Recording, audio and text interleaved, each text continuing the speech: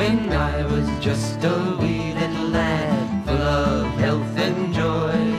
My father homeward came one night and gave to me a toy. A wonder to behold it was, with many colors bright. And the moment I laid eyes on it, it became my heart's delight.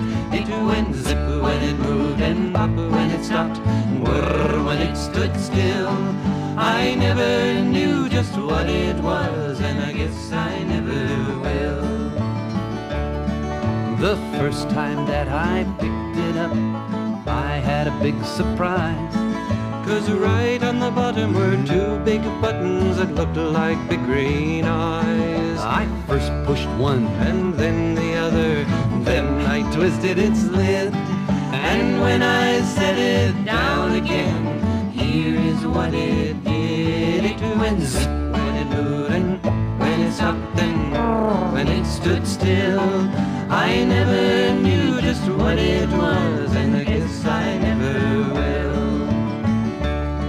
It first marched left, and then marched right, then marched under a chair. And when I looked where it had gone, it wasn't even there. I started to cry, but my daddy Find. When I turned around, my marvelous toy would be chugga chugga chugga chugga chugga chugga chugga chugga zip when it moved and when it stopped and when it stood still.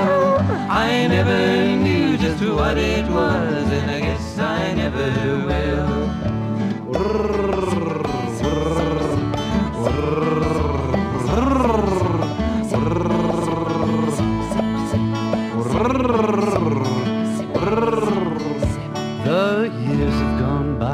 Quickly, it seems. I have my own little boy. And yesterday I gave to him my marvelous little toy. His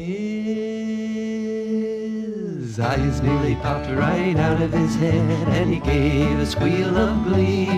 Neither one of us knows just what it is, but he loves it just like me. It still goes zip when it moves and pop when it stops and whir when it stands still.